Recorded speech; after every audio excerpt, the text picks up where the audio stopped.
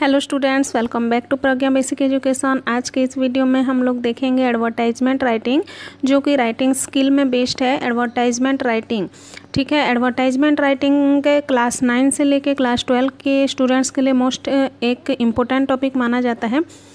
And इस video में हम लोग डिटेल्स में जानने वाले हैं एडवर्टाइजमेंट क्या होता है, उसका डेफिनेशन क्या है, उसका क्लासिफिकेशन क्या है, उसका कितने कैटेगरी होते हैं, लेकिन हम लोग को कौन सी एडवर्टाइजमेंट के बारे में प्रिपेयर होना है ठीक है मतलब पेपर बेस्ड जो एडवर्टाइजमेंट है, हम लोग के पेपर में क्या आने वाला है, इसके बारे में भी हम लोग डिस्कस करने वाले हैं। सबसे पहले मैं बताना चाहूँगी कि एडवर्टाइजमेंट कुछ भी नहीं है, बस ये इसको हम लोग एक बोल सकते हैं प्ले ऑफ़ वर्ड्स ठीक है, ये वर्ड्स का प्ले है, यानी कि वर्ड्स को हम लोग को, हम लोग के सामने इतने सुंदर तरीके से हम लोग के सामने पेश किया जाता है कि हम लोग उसमें अट्रैक्ट हो जाते हैं। ठीक है स्टूडेंट्स जैसे आप लोगों ने भी देखा होगा, है ना? टीवी में रेडियो में मैगजीन में सिनेमा में न्यूज़पेपर में, ये सब में हम लोग को ऐड दिखते हैं, है ना? एडवर्टाइजमेंट जैसे हम लोग कभी मूवी देखते हैं या कुछ भी आजकल मोबाइल में भी ऐड दिखने लग गए हैं। ठीक है? तो ये जो एडवर्टाइजमेंट में एडवर्टाइजमेंट है तो ये क्या है? ये प्ले ऑफ़ वर्ड्स है है ना? वर्ड्स को हम लोग के पास इतने अच्छे तरीके से पेश किया जाता है ताकि हम लोग उस के बारे में जानने के लिए और उत्सुक हो सके। ठीक है? तो एडवर्टाइजमेंट आखिर बनाया क्यों जाता है स्टूडेंट्स क्योंकि अभी जो मैं बताई कि इस ये जो विजिटर है, जो व्यूअर है, उन लोग को अटेंशन को अट्रैक्ट कर सके, उनका जो ध्यान है है ना, उनको आकर्षित कर सके। जैसे सपोज़ मार्केट में कोई नया चीज़ आया है, ठीक है तो उसके बारे में तो लोगों को बताना ही है है ना, ताकि उसका सेल हो सके। लेकिन कैसे बताएँगे मार्केट में अवेलेबल है करके एक एडवर्टाइजमेंट के थ्रू ठीक है टीवी में अनेक प्रकार के एडवर्टाइजमेंट जैसे लाइव बॉय का हो लाइव बॉय सोप का हो गया डिटॉल का हो गया, उसके बाद में ऑल आउट हो गया। ठीक है तो ऑल आउट में कैसे आप लोगों का बोलते हैं ना ऑल आउट मच्छरों का यमराज, ठीक है? तो ये सब वर्ड्स को इतने अच्छी तरीके से सजाया जाता है कि हम लोग के ज़ुबान में वर्ड्स आ जाते हैं। हम लोग उसको जान लेते हैं एकदम अच्छे से, ठीक है? तो मतलब सोचो आप लोग, बनाया कैसे जाता है? वर्ड्स का खेल है ये, ठीक है? तो हम लोग भी उसको ऐसे तरीके से बनाएँगे कि वो अट्रैक्ट कर सके पीपल को, ठीक है? और ये एक, इसको हम लोग एक इम्पोर्टेंट टूल भी मान सकते हैं for promoting sales and services जैसे फॉर एग्जांपल एक मैं एक कोचिंग सेंटर खोली हूँ। तो उसके बारे में लोगों को अगर बताना है तो मैं एडवर्टाइजमेंट करूँगी उसका। ठीक है? तो एडवर्टाइजमेंट ऐसे सिंपल लैंग्वेज में अगर लिख दूँगी सिंपल सेंटेंस लिख दूँगी तो कोई इतना अटेंशन नहीं देगा ना मेरे तरफ़। ठीक है? तो मेरे को उसको इतना अच्छे तरीके से मतलब लोगों के सामने पेश करना है वर्ड्स को, ताकि हाँ उन लोग को लगे कि हाँ इसके अंदर कुछ होगा। ठीक है? तो उन लोग मेरे तक पहुँचे। ठीक है? आप लोग समझ सकते हो कि एडवर्टाइजमेंट क्या होता है ना? तो बढ़ते हैं आगे और एडवर्टाइजमेंट के डेफिनेशन देख लेते हैं। एक्चुअली एडवर्टाइजमेंट होता क्या है? The word advertisement means a public notice or an announcement asking for or offering services advertising for buying or selling property household goods vehicles etc it is a very important tool for sales and promotion. जैसे कि मैं अभी बताई कि ये क्या है? एक अनाउंसमेंट है है ना? किसके लिए अनाउंसमेंट है? कि एडवर्टाइज करने के लिए है ना? उन लोगों को जा मतलब लोगों को आ, बताने के लिए ये एक अनाउंसमेंट है। क्यों बताएँगे लोगों को? कि प्रॉपर्टी को अगर आपको बेचना है ख़रीदना है है ना? हाउस होल्ड गुड्स को बेचना है या ख़रीदना है वहीकिल्स बेचना है कोई सर्विस के बारे में जानना है तो आप लोग किसके थ्रू जानते हैं? हम लोग एड के थ्रू जानते हैं। ठीक है तो इसको इसलिए हम लोग इम्पोर्टेंट टूल मान सकते हैं फॉर सेल्स एंड प्रमोशन के लिए। लेकिन एडवर्टाइजमेंट टू कैटेगरीज में होते हैं, एक क्लासिफाइड एडवर्टाइजमेंट और एक कॉमर्शियल एडवर्टाइजमेंट जिसको कि हम लोग डिस्प्ले भी बोलते हैं। लेकिन स्टूडेंट्स, आप लोगों को घबराने की ज़रूरत नहीं है। ये दो प्रकार का एडवर्टाइजमेंट मैं जो बता रही हूँ, इसमें से आप लोगों का बस एक ही टाइप का आएगा, जो कि है क्लासिफाइड और ये एकदम सिंपल है। मैं कई बार स्टूडेंट्स को देखती हूँ कि उन लोग का ऑप्शन में आता है ना नोटिस राइटिंग या एडवर्टाइजमेंट राइटिंग तो स्टूडेंट्स ज़्यादातर नोटिस राइटिंग लिखना पसंद करते हैं। लेकिन मैं कहूँगी कि एडवर्टाइजमेंट में लिखना उतना ही इम्पोर्टेंट है, उतना ही ईजी है।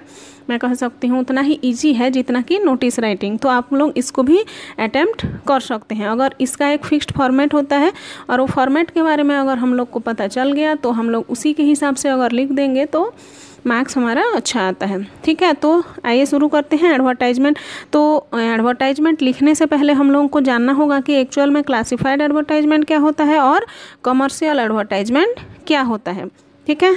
तो क्लासिफाइड एडवर्टाइजमेंट में जो होता है, वो क्या होता है? प्लेस्ड बाय इंडिविजुअल ये एक इंडिविजुअल के द्वारा प्लेस किया जाता है, ठीक है? जैसे मैं हो गई, आप हो गए, कोई भी उसको ऐड के रूप में दे सकता है। लेकिन जो कमर्शियल एडवर्टाइजमेंट है, वो क्या होता है?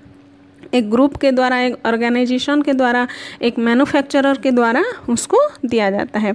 ठीक है? और क्लासिफाइड एडवर्टाइजमेंट आप लोग देखे होंगे ना, अगर न्यूज़पेपर पढ़ते होंगे तो उसमें एक पेपर में ऐड दिखता है ना? ज्योतिष आवश्यकता, ये सब दिखता है ना? तो उसमें एक, जैसे आप देखेंगे, एक प्रॉपर्टी है कॉलम है प्रॉपर्टी का। ठीक है? तो कॉलम में कितना प्रॉपर्टी का कम से कम दस बीस ऐड आप लोगों को दिख जाएँगी। वैसे अलग अलग हेडिंग के नीचे ठीक है ग्रुप किया जाता है एड्स लोगों को। ठीक, उसी प्रकार, ठीक है? तो ग्रुप में इसको डिवाइड किया जाता है, इसलिए इसको क्लासिफाइड एडवर्टाइजमेंट भी बोलते हैं।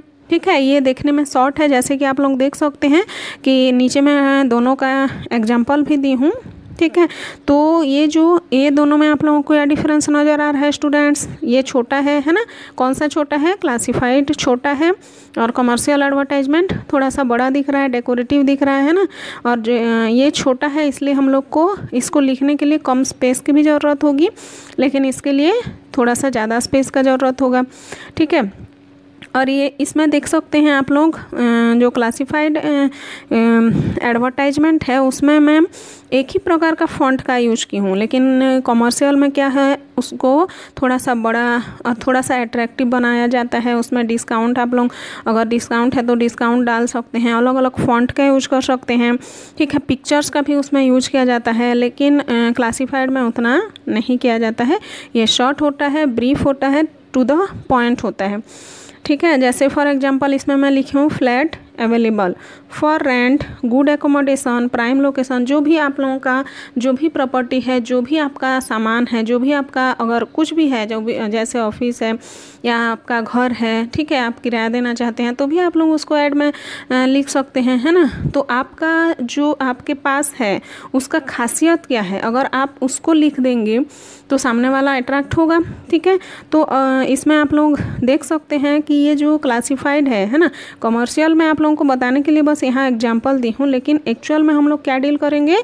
क्लासिफाइड एडवर्टाइजमेंट को डील करेंगे। इसमें आप लोग देख रहे होंगे, मैं फुल सेंटेंस का यूज़ नहीं की हूँ, है ना? छोटे छोटे फ्रेज में मैं लिखी हूँ और फ्रेज कॉमा से सेपरेटेड है, ठीक है?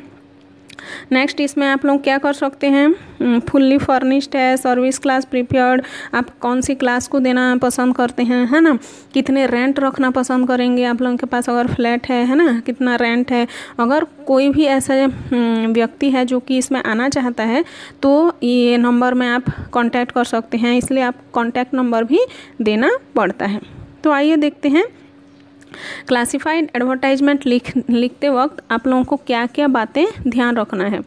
Clearly state the category at the top for example for sale to let wanted etcetera मतलब जब हम लोग एडवर्टाइजमेंट लिखना स्टार्ट करेंगे तो सबसे पहले हम लोग क्या लिखेंगे? कैटेगरी लिखेंगे। कौन सी कैटेगरी में ये ऐड आता है? ठीक है, जैसे आपका फॉर सेल यानी कि आप कुछ बेचना चाहते हैं तो फॉर सेल के अंदर में आएगा। टू लेट यानी कि कुछ आप लोगों के पास अवेलेबल है फ्लैट है या ज़मीन है है ना? तो उसके लिए आपको टू लेट के नीचे में लिखना पड़ेगा। वांटेड यानी कि आपको कुछ चाहिए जॉब चाहिए तो आप वांटेड के नीचे लिखेंगे। ऐसे ग्रुप्स होते हैं, ठीक है? पहले क्या करना है आपको? कैटेगरी मेंशन करना है। Give all necessary details in points using commas यानी कि कॉमा का प्रयोग करते हुए आपको नेसेसरी डिटेल्स देना है, ठीक है? नेसेसरी डिटेल्स का मतलब ये नहीं है कि इतना लंबा चौड़ा आपने सेंटेंस लिख लिया या पैराग्राफ एक लिख लिया। No no. Give important information only खाली आप लोगों को इम्पोर्टेंट इन्फॉर्मेशन देना है, उसका खासियत बताना है। Language simple and concise language जो है आपका एकदम सिंपल होना चाहिए कॉन्साइज होना चाहिए, ये लेंगदी नहीं होना चाहिए। Need not be in complete sentence जैसे मैं आपको बताएगा ना कि कंप्लीट सेंटेंस में इसको नहीं लिखना है, ठीक है? फ्रेज में लिखना है और कॉमा से सेपरेटेड है। सेपरेट करना है। Put the matter in box जैसे नोटिस में हम लोग बॉक्स के अंदर रखते हैं नोटिस को, ठीक इस उसी प्रकार इसको भी हम लोग को एक बॉक्स के अंदर में रखना ज़रूरी है। और उसमें हम लोग क्या करेंगे, अपना कॉन्टैक्ट एड्रेस दे सकते हैं टेलीफोन नंबर भी दे सकते हैं या अपना ईमेल एड्रेस भी दे सकते हैं। अब आइए देखते हैं इंपॉर्टेंट क्लासिफाइड एडवर्टाइजमेंट कौन कौन से एक्चुअल होते हैं। देखिए मैं यहाँ पर सिचुएशन वैकेंट लिखी हूँ situation wanted sale and purchase to let lost and found travels and tours matrimonial इसके अलावा भी बहुत सारे हैं। ठीक है, लेकिन एग्ज़ाम पॉइंट ऑफ़ व्यू के दृष्टिकोण से एग्ज़ाम पॉइंट ऑफ़ व्यू से आप लोगों को इतना ही बस प्रैक्टिस अच्छे से करना है, ठीक है? इतना आपका प्रैक्टिस हो जाएगा तो आपका काम हो जाएगा। तो आज इस वीडियो में हम लोग डील करेंगे only situation vacant and situation wanted situation vacant मतलब क्या होता है स्टूडेंट्स जैसे फॉर एग्ज़ाम्पल मैं एक ऑफ़िस खोली हूँ। ठीक है? तो ऑफ़िस खोल देने से नहीं होता है, उसमें काम करने के लिए लोग भी तो चाहिए मेरे को। ठीक है? एक अकाउंटेंट चाहिए होता है ऑफ़िस बॉय चाहिए होता है डाटा एंट्री ऑपरेटर चाहिए होता है रिसेप्शनिस्ट चाहिए होता है। बहुत सारे लोगों की ज़रूरत होती है मेरे को, ठीक है? तो उसके लिए मैं क्या करूँगी? ऐड करूँगी, ऐड पब्लिश करूँगी, ठीक है? तो ऐसे सिचुएशन में हम लोग कौन सी कैटेगरी में रखेंगे अपना ऐड को? सिचुएशन वैकेंट वैकेंट यानी रिक्त, खाली, है ना? मेरे पास जॉब है, मैं लोगों को प्रोवाइड करना चाहती हूँ तो मैं किस प्रकार से लिखूँगी? देखो, यहाँ पर लिखा है situation vacant A B C global company wanted female receptionist यहाँ पर देखो सबसे पहले क्या लिखा है? पहले तो कैटेगरी लिख दिया हम लोग सिचुएशन वैकेंट करके। नेक्स्ट में क्या लिखे? A B C global company, यानी कि पहले हम लोग को ऑर्गेनाइजेशन का नाम लिखना है। क्या लिखेंगे? Name of the organisation. क्या है हमारा? एबीसी ग्लोबल कंपनी है। क्या चाहते हैं? वांटेड फीमेल रिसेप्शनिस्ट आप लोग मेल या फीमेल को प्रीफर भी कर सकते हो, है ना? और कौन सी पोस्ट है ये? रिसेप्शनिस्ट का पोस्ट है। एज ग्रुप कितना है इसका? ट्वेंटी फाइव टू थर्टी है। ठीक है मस्ट भी ग्रेजुएट अब इसका क्या है? क्वालिफिकेशन जो भी बंदा इसको अप्लाई करेगा, वो इतना क्वालिफिकेशन तो उसके पास होना ही चाहिए। कौन सी क्वालिफिकेशन होगा? ग्रेजुएट होगा और प्लीजिंग पर्सनालिटी होगा उसके पास कंप्यूटर लिटरेट होना चाहिए फ्रॉम एन अकाउंटिंग बैकग्राउंड ठीक है? ये रिसेप्शनिस्ट है तो अकाउंटिंग बैकग्राउंड उसका होना चाहिए। मिनिमम थ्री इयर्स एक्सपीरियंस और मैं इसको, मैं यहाँ पर एक्सपीरियंस्ड पर्सन को प्रीफेयर कर रही हूँ तो उसको भी मैं यहाँ पर ऐड कर दी। सैलरी नेगोशिएबल यहाँ पर सैलरी पे स्केल नहीं दिया हुआ है, ठीक है? आपको पे स्केल भी लिखना है। पे स्केल यहाँ पर सैलरी नेगोशिएबल का मतलब क्या होता है? नेगोशिएबल यानी कि, जैसे फॉर एग्जांपल मैं रिसेप्शनिस्ट के लिए सपोज़ टेन थाउज़ेंड रखी हूँ। सपोज़ ठीक है, मैं मेंशन नहीं की हूँ, लेकिन जो सामने वाला बंदा है, अगर, वो मेरे पास आता है सॉरी आती है और उसको मेरे को पसंद आता है। ठीक है तो टेन थाउज़ेंड में करने के लिए राज़ी नहीं होती है सपोज़ तो मैं उसको बोल के इलेवन थाउज़ेंड, यानी कि मेरा सैलरी बढ़ा भी सकती हूँ। उसको नेगोशिएबल लिखते हैं। उसके बाद है ईमेल एड्रेस। ठीक है तो ऐसे ही आप लोगों को एक बॉक्स बनाना है, कैटेगरी लिखना है, नेम ऑफ़ द ऑर्गेनाइजेशन लिखना है, कौन सी पोस्ट के लिए है, कितना पोस्ट है, एज ग्रुप आप क्या चाहते हैं, कैसे क्वालिफिकेशन वाला आदमी आपको चाहिए, ये सब के बारे में छोटे छोटे आप आपको फ्रेज में डिटेल्स लिख देना है। और अगर ऐसे व्यक्ति जो इस पोस्ट के लायक है तो आप मेरे को इस ईमेल एड्रेस या फ़ोन नंबर में कांटेक्ट कर सकते हो। ठीक है? ऐसे आप लिख सकते हैं। ये तो हो गया सिचुएशन वैकेंट सिचुएशन वैकेंट मतलब क्या है? मेरे पास जॉब है, मैं एड पब्लिश कर रही हूँ। लेकिन सिचुएशन वांटेड इसका जस्ट अपोजिट है। मैं जॉब सीकर हूँ, ठीक है? मैं ऐसे ऐसे क्वालिफाइड हूँ, मेरे पास इतना क्वालिफिकेशन है और मेरे को इस एरिया में ऐसे जॉब चाहिए तो जो जॉब प्रोवाइड करेगा वो इसको देखेगा और मेरे को कॉल करेगा, ठीक है? तो आइए इसको अच्छे से समझ लेते हैं। Situation wanted it is given by a job seeker himself मैं बोली ना, जो जॉब सीकर है, जिसको जॉब चाहिए वही इसको लिखेगा या एड पब्लिश करेगा। क्वालिफिकेशन एंड एक्सपीरियंस वो अपना क्वालिफिकेशन लिखेगा एज कितना है लिखेगा जेंडर लिखेगा, कौन सी जॉब के लिए वो फिट है, वो लिखेगा, है ना? मिनिमम सैलरी वो एक्सेप्ट क्या करता है, उसको भी लिख सकता है। और अगर इतना अवेलेबल है तो आप नीचे ये नंबर पे या ये एड्रेस पे आप कांटेक्ट कर सकते हो। ठीक है? ये है आपका सिचुएशन वांटेड मतलब आपको जब चाहिए, आप जॉब ढूंढ रहे हैं तो आप इसमें ऐसे ऐड लिख सकते हैं। जैसे इसमें मैं लिखी हूँ, a first class B tech civil engineer from Guru Ghasidas university seeks a job in and around Raipur. देखिए, मैं यहाँ पर लिख दी हूँ, a first class B tech civil engineer यानी कि first class B tech civil engineer क्या हुआ? एक जॉब सीकर है, जो कि गुरु घासीदास यूनिवर्सिटी से पास आउट है। सीख से जॉब उसको जॉब चाहिए। कहाँ पर? कौन सी लोकेशन में? रायपुर के आसपास, है ना? Presently working with a private firm in Raigarh. और वो अब क्या कर रहा है? अभी फ़िलहाल वो रायगढ़ में पोस्टेड है। सैलरी एक्सपेक्टेड थर्टी थाउज़ेंड यानी कि अगर थर्टी थाउज़ेंड सैलरी मिलेगा, तभी मैं वो जॉब के लिए अप्लाई करूँगा। ठीक है? Please contact X Y Z email address भी दिया हुआ है उन्होंने। ठीक है? तो ऐसे आप लोग लिख सकते हैं। सिचुएशन वैकेंट में क्या है? आप लोगों के पास जॉब है। और आप जॉब मतलब लोग ढूंढ रहे हैं तो आप सिचुएशन वैकेंट में लिखेंगे। और आपको जॉब चाहिए तो सिचुएशन वांटेड में लिखेंगे। सिचुएशन वांटेड में भी मैं बताई कि आपके पास जो जो क्वालिटी है उसको आपको बस मेंशन करना है। ठीक है? और एक एग्जांपल आप देख लेंगे। You are Raj Sharma office in charge of R K industry Bhilai. Your company needs accountant देखो, इसमें आप राज शर्मा हो, आप ऑफ़िस इंचार्ज हो, आपके इंडस्ट्री का क्या नाम है? आर के इंडस्ट्री है, जो कि भिलाई में है। और इस आपके कंपनी क्या चाहिए है? आपकी कंपनी को अकाउंटेंट चाहिए है, ठीक है? तो इसके लिए आपको ऐड लिखना है। तो कैसे लिखेंगे? सिचुएशन वैकेंट सबसे पहले क्या है? सिचुएशन वैकेंट करके कैटेगरी मेंशन करेंगे। कौन सी पोस्ट के लिए? वांटेड अकाउंटेंट ठीक है? पोस्ट थ्री यानी कि तीन पोस्ट के लिए अकाउंटेंट है खाली। For a required leading company R K industry अब यहाँ पर हम लोग नेम ऑफ़ द पोस्ट लिख दिए, पहले टाइप लिख दिए, फिर नेम ऑफ़ द पोस्ट लिख दिए। कितने पोस्ट खाली है उसको भी मेंशन कर दिए। कौन सी इंडस्ट्री कौन सी कंपनी का नाम, यानी कि नेम ऑफ़ द ऑर्गेनाइजेशन भी उसमें लिख दिए।